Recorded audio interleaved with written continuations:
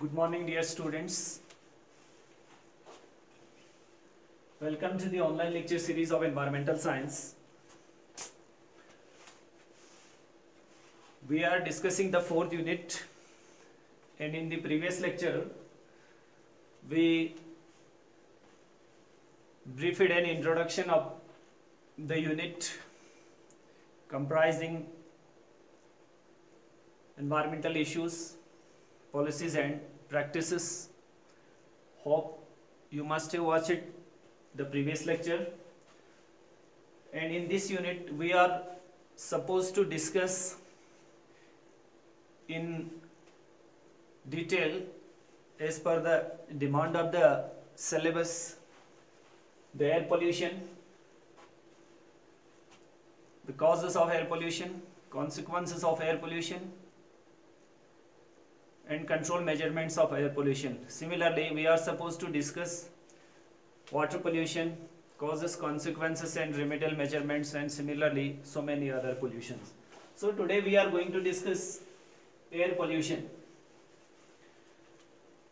Before knowing what is air pollution, we will try to learn what actually pollution means. Pollution simply means to soil or to defile which has been derived from a Latin word. A Latin word which means to defile or to soil. Pollution is a general term. It applies whether it is water pollution, soil pollution, uh, noise pollution, and so many other pollu uh, pollution. So actually, what pollution means, we have already learned about the environment and its components. We have seen so many abiotic factors are there, biotic components are there. So any undesirable change, there may be a change which may be a positive in nature. For example, increase of oxygen level in water body is considered as a good sign for the quality of water. But we are focusing here any undesirable change. Any undesirable change in physical, chemical and biological properties of water, air or soil is if you attended previous lectures you must have learned about the physical properties of water chemical properties of water biological properties of water. Similarly physical properties of air chemical properties of air and biological properties of air. And similarly uh, uh, so, uh, physical properties of soil chemical and biological properties of soil. So, so pollution simply means any undesirable change in physical properties biological properties or characteristics or chemical properties of any constituents of the atmosphere which is liable to cause injuries to human being living organisms and including property. So this simply means a pollution as we already defined. Any undesirable change in physical chemical or biological properties of air water soil which affects human life creatures and property is known as pollution it has been actually defined by E.P. Odum a famous ecologist so what we got from here any undesirable change in physical properties of air chemical properties of air biological properties of air which affects the health status health standard of human being damages living creatures harmfully affects living creatures results on deteriorating effects on the living creatures and property as well. So we defined undesirable change in physical, chemical and biological properties of be it air, water or soil which affects the quality of environment including human being and property is known as simply pollution. Then, what is the cause of pollution? What are the things, what are the substances which are responsible for cause of this pollution? So many factors or substances are available there in nature which may be of different origin, be it natural, be it anthropogenic, be it persistent, be it slowly degradable, be it biodegradable, be it non-biodegradable and we have uh, uh, categorized so many pollutants available in nature on the basis of nature, on the basis of form, on the basis of uh, residence time and so many other factors have been taken into consideration. But before going into the thick of the things, we are going to define what actually pollutant is. The substances, substances or factors. You need to learn pollutant means any substances or factors that cause pollution are called pollutants. Simply for the students pollutant means any substances or factors which causes pollution. As we already defined pollution any undesirable change in physical chemical and biological properties of air water or soil. Similarly the pollution which results is any substances or factors which cause a pollution are called pollutants. Hope you got the meaning of pollutant? Or we can define substances that lowers the quality of environment. Simple. Are known as pollutants.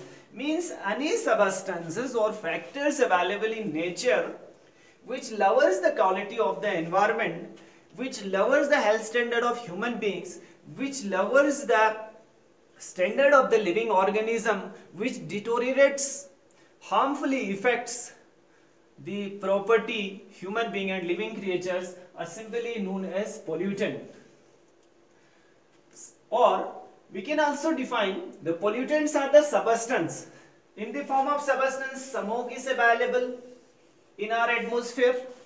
It may be chemicals in the form of nitrogen oxides. It may be a sulfur oxide.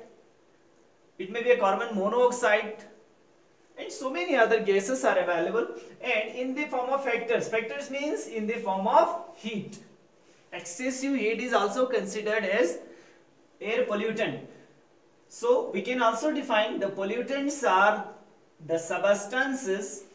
Substance means it may be smoke and chemicals and chemicals may be nitrogen oxide and the factors and factors may be heat that causes potential damage to the environment living creatures and other properties are known as simply pollutants hope you got the uh, meaning of pollutant then there are so many types of pollutants. We have categorized it. We have classified the pollutants on different bases. Let us have a look on the types or basis, uh, types of the pollutants. Anything to classify, we are supposed to have a base on which base we are categorizing.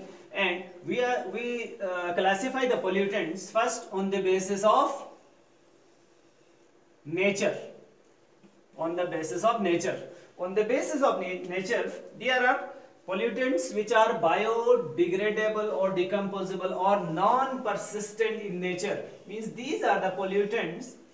Once available in nature once released it in nature gets easily degraded with the passage of time as there are so many organisms in the form, uh, form of fungi in the form of bacteria which decomposes such pollutants released by anthropogenic activities or natural uh, uh, phenomena.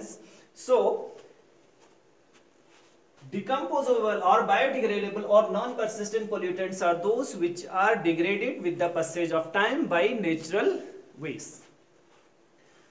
Vegetables, cardboards, plants and animal matters etc. can be included in biodegradable pollutants and slowly or persistent chemicals. These are the pollutants which once released in the uh, environment, in the air, no doubt gets decomposed but it takes too much time and we can include DDT. A persistent or slowly degradable pollutants means it takes too much time to degrade. Similarly, biodegradable, bio non-degradable pollutants. These are the pollutants which once release it into the atmosphere or in the air or in the nature remains as such in the same form for a longer, longer, longer duration of time. That's why these are known as the bio non-degradable pollutants. And we can include lead we have, mercury is there, aluminum is there. These are the pollutants which remain as such in the atmosphere once we release this in the nature. Then based on the physical properties, in which state, in which physical form the pollutants are available. The pollutants may be solid, the pollutants may be liquid, the pollutant may be gases and the pollutants may be without weight. For example, if we include solid pollutants, say for example already described plants are animal matter, plants and animal matters, cardboards, plastics, cans, rakes and so many other pollutants which are in physical form. Then liquid pollutants. Liquid pollutants are the pollutants which are in liquid form. Liquid form means the industrial effluents is there, industrial effluents, sewage is there, domestic sewage is there. So all those pollutants which are either releasing from the domestic source or from the industries or from the factories which are liquid in nature are included in liquid pollutants and gaseous pollutants which are releasing from the factories from domestic source from automobiles like oxides of nitrogen is there oxides of carbon is there, oxides of sulfur is there, and so many other pollutants which are released by anthropogenic activities or from natural sources, gaseous pollutants. And pollutants without weight. Light is also a form of pollutant.